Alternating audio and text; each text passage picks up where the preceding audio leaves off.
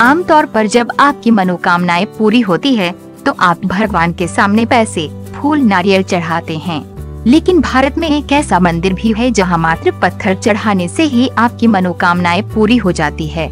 ये अनोखा मंदिर भगवान का डुबसप्पा का है, जो कर्नाटक के मांडा में है।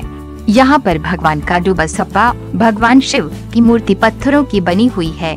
इस मंदिर में श्रद्धालु पत्थर चढ़ाते हैं। ये मंदिर लोगों के बीच काफ़ी चर्चित है।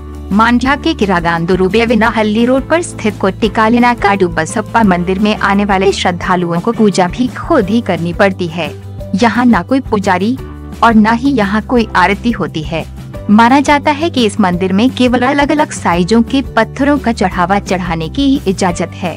यहाँ प्रार्थना करने के लिए किसी नारियल और पूजा की थाल की ज़रूरत नहीं होती है। यहाँ केवल चार या पाँच पत्थर हाथ में रखकर आप पूजा कर सकते हैं। इसके फलस्वरूप मंदिर के बाहर विभिन्न आकारों के पत्थर जमा हो गए हैं।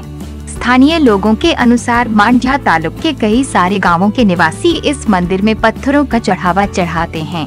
परंपरा के अनुसार इच्छा पूरी होने पर श्रद्धालु अपनी खेत या ज़मीन से लाए गए पत्थरों को चढ़ाते हैं। तीन या पाँच की संख्या में चढ़ाए जाने वाले पत्थरों के आकार को लेकर कोई प्रतिबंध नहीं है। यहाँ पर आए श्रद्धालु नवीन ने बताया, ज़्यादातर श्रद्धालु किसान होते हैं और वे अपने सुखद जीवन यापन या फिर अच्छी फ़सल के लिए ही प्रार्थना करते हैं। फ़सलों की कटाई के बाद वे मंदिर में जाकर तीन या पाँच पत्थरों का चढ़ावा चढ़ाते हैं। अगर आपको ये वीडियो पसंद आए तो लाइक एवं शेयर ज़रूर करें। आपको हमारा ये वीडियो कैसा लगा, ये हमें कमेंट करके ज़रूर बताएँ।